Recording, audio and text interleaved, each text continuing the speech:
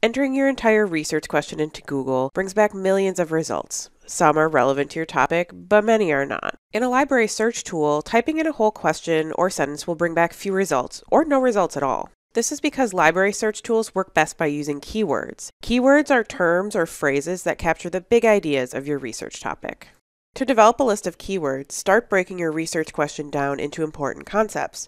For the research question, what social conditions led to the spread of barbecue cuisine in the Midwest, we can break down our question into three main concepts barbecue cuisine, Midwest, and social conditions. These are my starting keywords. From here, I'll create a list of other terms for searching based off of these keywords. The first step is brainstorming related terms or synonyms for the main concepts of your topic. This could include alternate spellings of keywords, closely related concepts, or terms with the same meaning as your starting keywords. For my topic, I could add different spellings of the word barbecue or heartland as a synonym for the Midwest. Next, zoom in on these concepts and brainstorm terms and phrases that are more specific than the concepts you started with. These are called narrower terms. For my topic, this could look like adding terms such as world wars, pulled pork, and Kansas City.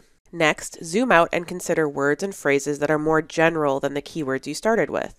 These are called broader terms. For my topic, this could look like adding terms such as Southern food and the United States. It's okay if you can't think of terms for every category. The goal of keyword brainstorming is to gather a variety of terms to try in the library search tool and to identify potential challenges with your questions or thesis statement.